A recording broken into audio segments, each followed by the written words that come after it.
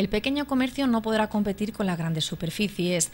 Lo dicen desde la Federación de Comercio de Albacete, que ven la futura ley para liberalizar el comercio de Castilla-La Mancha como un desatino. Los pequeños, evidentemente, no podemos aguantar eh, el, mantener abrir durante estos 90 horas.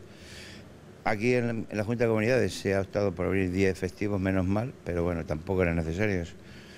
Eh, desde luego esto no va a favorecer el incentivo más al consumo. Esto lo único que va a hacer es poder aguantar más a los grandes que pueden aguantar. Desde la Federación de Comercio de Albacete consideran además que el Gobierno ha invadido competencias que no le corresponden en el tema de las rebajas. Va a suponer la jungla y el que nos matemos entre los propios comerciantes. Y además el consumidor va a ser también perjudicado porque va a haber deteriorada la calidad de sus productos y desde luego va a pagar eh, por, por, el producto lo que muchos productos no, no valen. Los comercios albaceteños también creen que la subida del IVA no ayuda a animar las ventas. Por todas estas razones solicitarán una reunión con la consejera de Empleo y Economía de Castilla-La Mancha, Carmen Casero.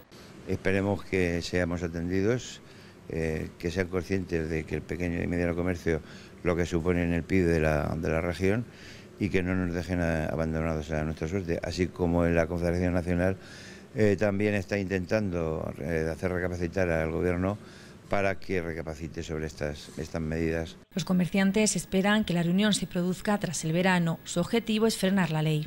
Esto nos ha pillado de sorpresa y, y nos ha pillado además en un momento realmente un poco, un poco donde todo el mundo está pues más pensando en, en las vacaciones que en, realidad en, en, la medida, en el daño que va, que va a ocasionar. ¿no? Entonces vamos a esperar que termine el verano vamos a reunirnos y vamos a ver qué, medidas tomamos. Si la ley sigue adelante, se producirá, denuncian, el cierre de comercios y con ello la pérdida de puestos de trabajo de calidad.